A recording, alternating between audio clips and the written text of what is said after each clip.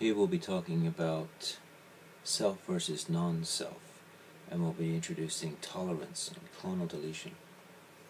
If every cellular protein is displayed on a cell surface, and macrophages eat everything non-selectively, why don't we have an immune response against normal cellular proteins? The phenomenon of not attacking self proteins is called tolerance, and it is the result of clonal deletion.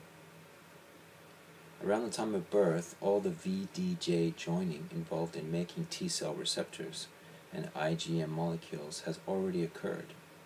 Any T cell, hyper or helper or cytotoxic that binds to an antigen present in the body at that time is killed through apoptosis.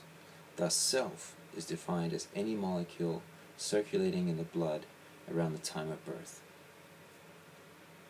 Clonal deletion occurs in the thymus.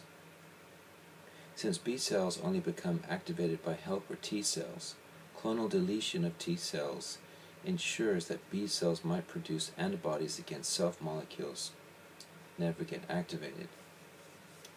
So the B cells that might produce antibodies against self molecules um, should not be activated. So clonal deletion takes care of this. And an important take-home point here is that autoimmune diseases are the result of self proteins being incorrectly recognized as non-self.